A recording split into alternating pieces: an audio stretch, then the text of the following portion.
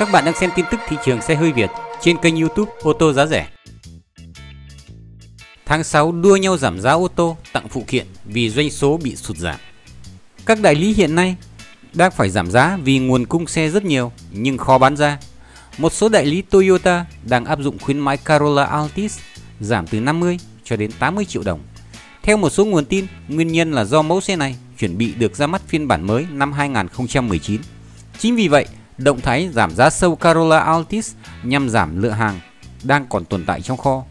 Không chỉ có Corolla Altis, các đại lý Toyota còn giảm sâu hai mẫu Toyota Wigo và Toyota Vios. Theo đó, mẫu xe đô thị hạng A Toyota Wigo được giảm từ 25 cho đến 30 triệu đồng.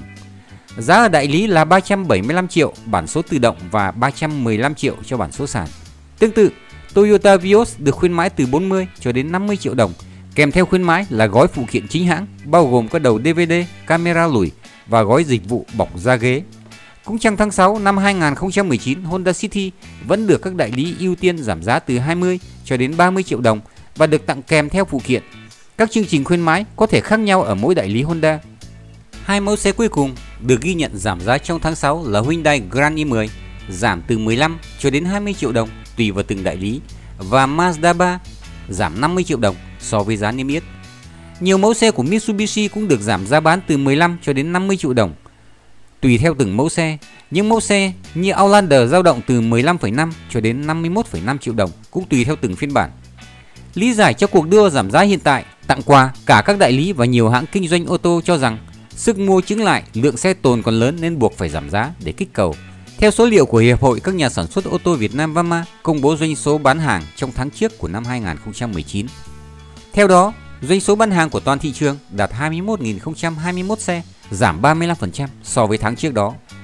Trong đó có 14.362 xe du lịch, 6.079 xe thương mại và 580 xe chuyên dụng.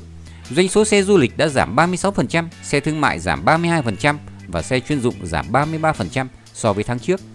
Sản lượng của xe lắp ráp trong nước đã đạt 14.047 xe, giảm 29% so với tháng trước và số lượng xe nhập khẩu nguyên chiếc là 6.947 xe, giảm 44% so Các bạn đang xem video trên kênh ô tô giá rẻ. Chúng tôi luôn đem đến cho các bạn những thông tin bổ ích và lý thú với hình ảnh minh họa sắc nét và đẹp mắt. Các bạn hãy đăng ký kênh và chia sẻ bài để kênh được phát triển hơn nữa. Chúc các bạn lái xe an toàn, vui trẻ, hạnh phúc và thành công.